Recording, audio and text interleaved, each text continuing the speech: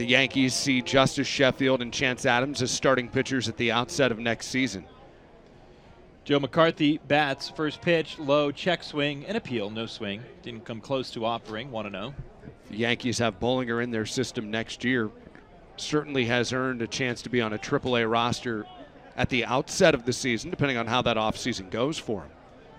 But I think he's pitching his way if the Yankees hold on to him, if that happens to be the case of being one of the five starters for Scranton Wilkes-Barre beginning next year. Who knows what happens with, you know, guys like Nestor Cortes and Erik Swanson. It could be a very loaded rotation come April 2019. 1 0 to McCarthy. Good pitch. Well spotted at the knees. 1 and 1. Yeah, you know, it's, it's always hard to speculate.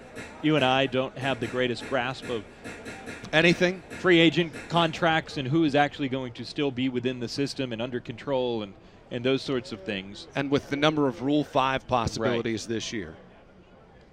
It's a ball and a strike. Pitch to McCarthy, low, 90. Going heavy fastballs here. It's 2 and 1. But based on the body of work that he has put together this year, if you have the chance to hold on to him, I think they certainly do. It's a guy who can eat innings when he was at his finest and do it well. 2 1 to McCarthy, swinging a grounder, tugged foul. Two balls and two strikes as Bollinger's pitch count has crept over 90 with pitch 92 coming up.